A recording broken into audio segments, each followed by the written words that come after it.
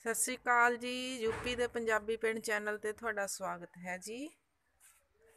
ਅੱਜ ਆਪਾਂ ਬਣਾਵਾਂਗੇ ਸਾਗ, ਉਹ ਵੀ ਚੁੱਲ੍ਹੇ ਤੇ। ਤੇ ਆਪਣਾ ਸਾਗ ਆ। ਤੇ ਪਾਲਕ ਆ। ਆ ਪਾਲਕ ਆਪਾਂ ਸਾਫ਼ ਕਰ ਲਈ ਹੈ ਇਹਦੇ ਵਿੱਚੋਂ ਜੋ ਵੀ ਕੋਈ ਖਰਾਬ ਪੱਤਾ ਸੀ ਉਹ ਕੱਢਤਾ। ਐਵੇਂ ਡੰਡੀਆਂ ਤੋੜ ਲੀਆਂ ਉਹ ਮੇਥੀ ਆ, ਮੇਥੀ ਵੀ ਸਾਫ਼ ਕਰ ਲਈ ਹੈ ਤੇ ਹੁਣ ਆਪਾਂ ਸਾਗ ਨੂੰ ਛਿੱਲਾਂਗੇ।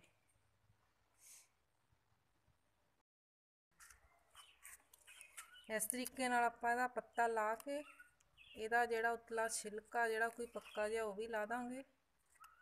ਐਵੇਂ ਛਿੱਲਣ ਨਾਲ ਸਾਗ ਘੁਲ ਵੀ ਛੇਤੀ ਜਾਂਦਾ ਤੇ ਟੇਸਟੀ ਵੀ ਬਣਦਾ।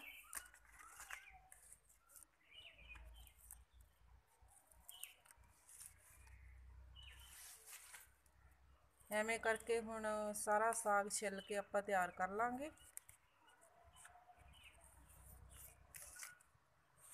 ਆ ਮੰਮੀ ਚਾਕੂ ਨਾਲ ਲੱਗੇ ਹੋਏ ਆ ਛਿੱਲਣ।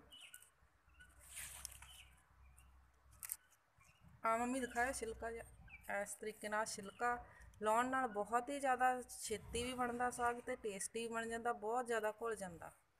ਘੋਟਣ ਦੇ ਵਿੱਚ ਆਪਾਂ ਨੂੰ ਬਹੁਤ ਸੌਖਾ ਹੋ ਜਾਂਦਾ। ਤੇ ਜਿਹੜੀ ਨਰਮ ਗੰਦਲ ਹੁੰਦੀ ਹੈ ਉਹਨੂੰ ਆਪਾਂ ਨਹੀਂ ਵੀ ਛਿੱਲਣਾ, ਐ ਨਹੀਂ ਵੀ ਛਿੱਲ ਸਕਦੇ, ਪਰ ਜਿਹੜਾ ਆ ਛਿਲਕਾ ਜਿਹਾ ਇਹ ਘੋਟਣ 'ਚ ਬਹੁਤ ਸੌਖਾ ਹੋ ਜਾਂਦਾ ਜੇ ਆਪਾਂ ਲਾ ਦਿੰਨੇ ਆ।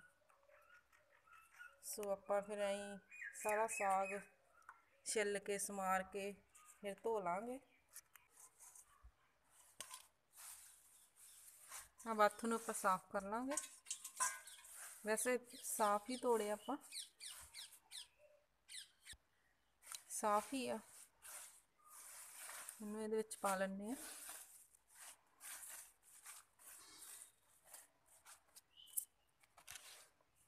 ਆ ਮੇਥੀ।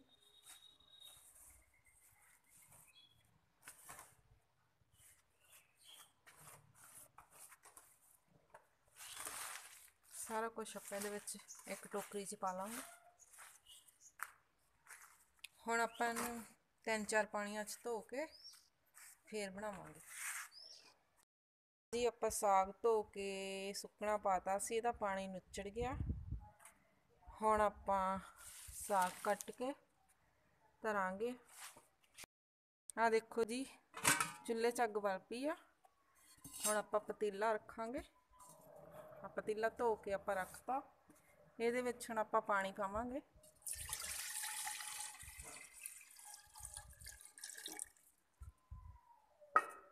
ਆ ਦੇਖੋ ਇੰਨਾ ਕੁ ਪਾਣੀ ਪਾਇਆ। ਪਹਿਲਾਂ ਆਪਾਂ ਥੋੜਾ ਹੀ ਪਾਵਾਂਗੇ ਕਿਉਂਕਿ ਜ਼ਿਆਦਾ ਪਾਣੀ ਫਿਰ ਉੱਬਲ ਕੇ ਬਾਹਰ ਨਿਕਲ ਜਾਂਦਾ। ਫਿਰ ਆਪਾਂ ਨਾਲ ਨਾਲ ਪਾਣੀ ਪਾਵਾਂਗੇ ਜਿਵੇਂ ਜਿਵੇਂ ਜ਼ਰੂਰਤ ਹੋਊਗੀ। ਤੇ ਇਹਦੇ ਵਿੱਚ ਆਪਾਂ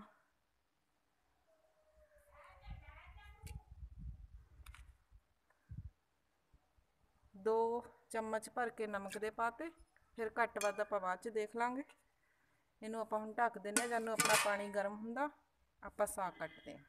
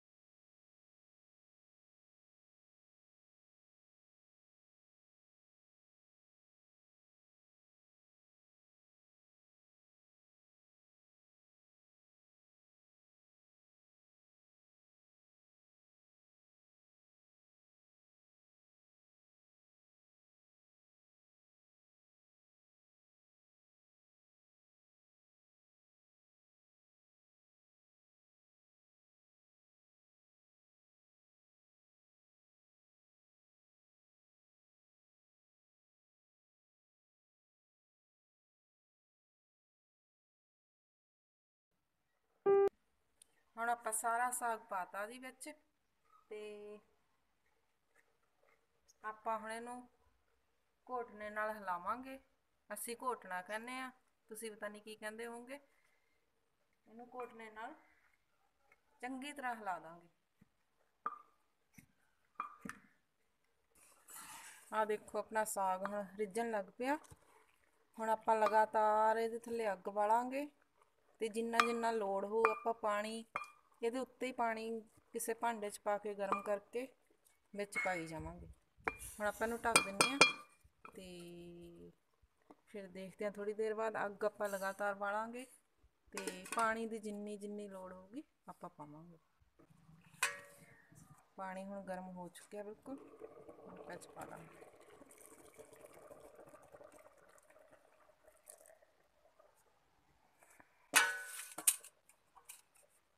ਹੁਣ ਆਪਾਂ ਦਾਂਗੇ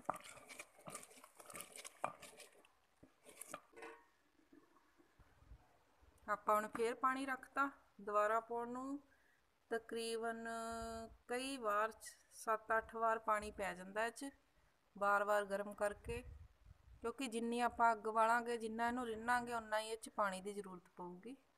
ਸੋ ਪਾਣੀ ਫੇਰ ਰੱਖਤਾ ਤੇ ਇੱਧਰ ਆਪਾਂ ਹੁਣ ਇਹਦਾ ਮਸਾਲਾ ਤਿਆਰ ਕਰ ਰਹੇ ਹਾਂ ਸਾਗ 'ਚ ਪਾਉਣ ਵਾਸਤੇ। ਆ ਚਾਰ ਪਿਆਜ਼ ਲਏ ਆ, ਲਸਣ, ਅਦਰਕ, ਹਰੀਆਂ ਮਿਰਚਾਂ। ਮਿਰਚਾਂ ਆਪਾਂ ਟੇਸਟ ਦੇ ਅਕੋਰਡਿੰਗ ਪਾਵਾਂਗੇ। ਲਾਲ ਮਿਰਚ ਨਹੀਂ ਪਾਉਣੀ, ਇਸ ਕਰਕੇ ਮੈਂ ਹਰੀਆਂ ਮਿਰਚਾਂ ਲਈਆਂ ਨੇ। ਸਾਗ ਵਿੱਚ ਮਿਰਚ ਵੈਸੇ ਪੈ ਜਾਂਦੀ ਹੈ ਜ਼ਿਆਦਾ। ਤੇ ਬਾਕੀ ਆਪਾਂ ਦੇਖ ਕੇ ਪਾਵਾਂਗੇ ਕਿੰਨੀਆਂ ਕੁ। ਵੈਸੇ ਤਕਰੀਬਨ ਸਾਗ 'ਚ ਮਿਰਚ ਜ਼ਿਆਦਾ ਹੀ ਪੈ ਜਾਂਦੀ ਹੈ ਹਰੀ ਮਿਰਚ, ਕਿਉਂਕਿ ਲਾਲ ਬਿਲਕੁਲ ਨਹੀਂ ਪਾਉਣੀ। ਸੋ ਹੁਣ ਆਪਾਂ ਇਹ ਮਸਾਲਾ ਤਿਆਰ ਕਰਾਂਗੇ। ਆਪਾਂ ਪਿਆਜ਼, ਲਸਣ, ਅਦਰਕ ਛਿੱਲ ਲਿਆ। ਹੁਣ ਆਪਾਂ ਇਹਨੂੰ ਮਿਕਸੀ 'ਚ ਦਰਦਰਾ ਪੀਸ ਕੇ ਚ ਪਾਵਾਂਗੇ। ਸੋ ਪਲੀਜ਼ ਜੇ ਤੁਹਾਨੂੰ ਸਾਡੀ ਵੀਡੀਓ ਵਧੀਆ ਲੱਗੀ ਤਾਂ ਲਾਈਕ ਕਮੈਂਟ ਤੇ ਸ਼ੇਅਰ ਜ਼ਰੂਰ ਕਰਿਓ ਤੇ ਪਲੀਜ਼ ਸਬਸਕ੍ਰਾਈਬ ਵੀ ਕਰਿਓ ਤੇ ਕਮੈਂਟ ਕਰਕੇ ਦੱਸਿਓ ਕਿ ਤੁਹਾਨੂੰ ਸਾਗ ਦੀ ਰੈਸਪੀ ਕਿਵੇਂ ਲੱਗੀ। ਤੇ ਬਿਲਕੁਲ ਦੇਸੀ ਜਿਹੇ ਤਰੀਕੇ ਨਾਲ ਆਪਾਂ ਸਾਗ ਬਣਾ ਰਹੇ ਹਾਂ, ਜਿਵੇਂ ਆਮ ਘਰਾਂ 'ਚ ਬਣਾਈਦਾ। ਤੇ ਦੱਸਿਓ ਜ਼ਰੂਰ ਪਲੀਜ਼ ਕਮੈਂਟ ਕਰਕੇ ਤੇ ਪਲੀਜ਼ ਚੈਨਲ ਨੂੰ ਸਬਸਕ੍ਰਾਈਬ ਵੀ ਕਰਿਓ। ਹੁਣ ਆਪਾਂ ਆਹ ਮਸਾਲਾ ਪੀਸਦੇ ਹਾਂ। ਆ ਦੇਖੋ ਜੀ, ਆਪਾਂ ਮਿਕਸੀ 'ਚ ਮੋਟਾ ਮੋਟਾ ਪੀਸ ਲਿਆ, ਜ਼ਿਆਦਾ ਬਰੀਕ ਨਹੀਂ ਕਰਨਾ। ਆਪਾਂ ਕੁੰਡੀ ਸੋਟੇ ਨਾਲ ਵੀ ਕੁੱਟ ਸਕਦੇ ਆ ਤੇ ਮਿਕਸੀ 'ਚ ਵੀ ਕਰ ਸਕਦੇ ਆ ਆ ਦੇਖੋ, ਇਸ ਤਰੀਕੇ ਦਾ ਕੀਤਾ ਮੈਂ, ਬਹੁਤ ਜ਼ਿਆਦਾ ਬਰੀਕ ਨਹੀਂ ਕੀਤਾ। ਹੁਣ ਆਪਾਂ ਇਹਦੇ ਵਿੱਚ ਪਾ ਦਾਂਗੇ ਇਹਨੂੰ।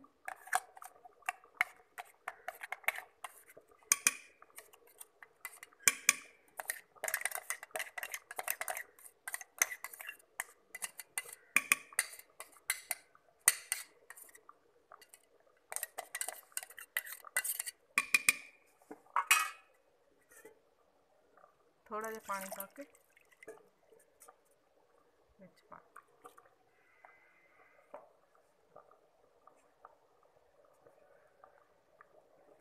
ਹੁਣ ਆਪਾਂ ਇਹਨੂੰ ਹਿਲਾ ਦਾਂਗੇ ਚੰਗੀ ਤਰ੍ਹਾਂ।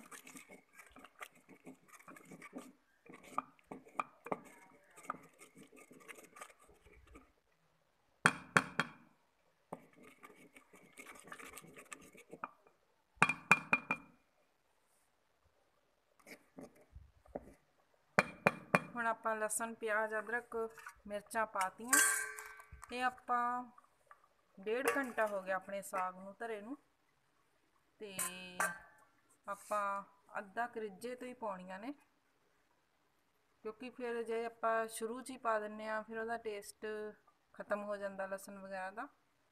ਤੇ ਹੁਣ ਆਪਾਂ ਜੇ ਇਹਨੂੰ ਘੱਟੋ ਘੱਟ ਡੇਢ ਦੋ ਘੰਟੇ ਜੇ ਹੋਰ ਪਕਾਵਾਂਗੇ। ਜਿੰਨਾ ਸਾਗ ਰਿੱਝੂਗਾ ਉਨਾ ਹੀ ਟੇਸਟੀ ਬਣੂਗਾ। ਆਹੀ ਆਪਣਾ ਪੰਜਾਬੀ ਸਟਾਈਲ ਆ। ਆਪਣੇ ਪੰਜਾਬੀ ਪਰਿਵਾਰਾਂ 'ਚ, ਪਿੰਡਾਂ 'ਚ, ਘਰਾਂ 'ਚ ਇਸੇ ਤਰੀਕੇ ਨਾਲ ਸਾਗ ਬਣਾਇਆ ਜਾਂਦਾ। ਸੋ ਹੁਣ ਆਪਾਂ ਇਹਨੂੰ ਹੋਰ ਰਿੱਝਣ ਦੇਵਾਂਗੇ। ਫਿਰ ਆਪਾਂ ਡੇਢ ਦੋ ਘੰਟੇ ਬਾਅਦ ਇਹ 'ਚ ਆਲਣ ਪਾਵਾਂਗੇ ਮੱਕੀ ਦਾ।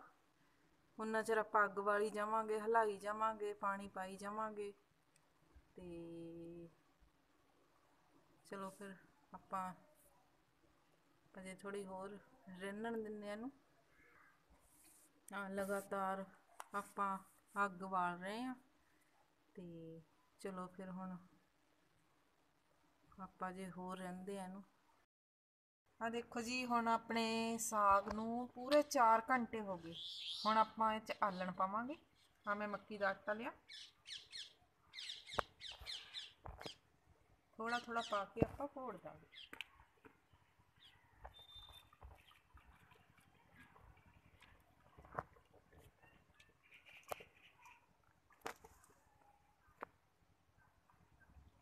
ਥੋੜਾ ਥੋੜਾ ਪਾਵਾਂਗੇ ਤਾਂ ਕਿ ਗੁਟਲੀਆਂ ਨਾ ਬਣਨ।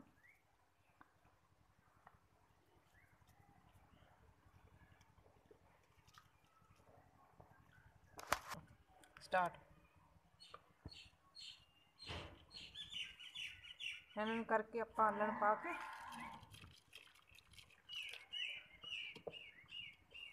ਥੋੜਾ ਜਿਹਾ ਹੋਰ ਪਾਵਾਂਗੇ। ਬਸ ਜੀ।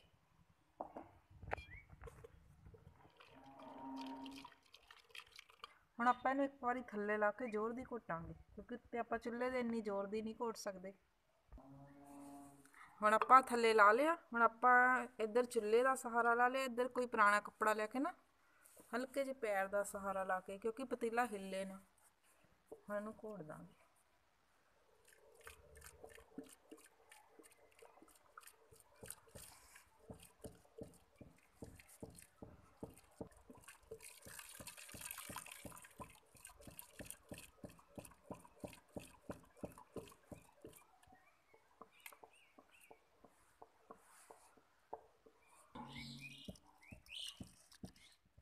ਆ ਜੀ, ਆਪਣਾ ਸਾਗ ਘੁੱਟ ਕੇ ਤਿਆਰ ਆ ਹੁਣ। ਘੋਟਣਾ ਕੱਢ ਦਾਂਗੇ ਬਾਹਰ। ਹੁਣ ਆਪਾਂ ਇਹਨੂੰ ਥੋੜੀ ਦੇਰ ਲਈ ਅੱਗ ਤੇ ਰੱਖ ਦਾਂਗੇ 2-4 ਮਿੰਟ ਵਾਸਤੇ। ਹਲਕੇ ਜਿਹੇ ਸੇਕ ਤੇ ਤੇ ਕੜਛੀ ਨਾਲ ਹਿਲਾਵਾਂਗੇ। ਆ ਦੇਖੋ, ਸਾਗ ਬਹੁਤ ਜ਼ਿਆਦਾ ਘੋਇਆ।